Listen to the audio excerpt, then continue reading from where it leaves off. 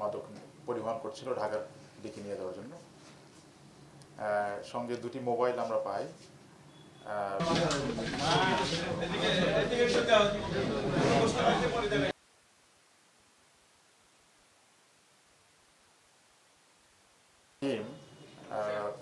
আমাদের সিরাজগঞ্জ কর্ডার মোড় থেকে শহর দিকে ঢোকার যে রাস্তাটা তার একটু ভিতরে একটা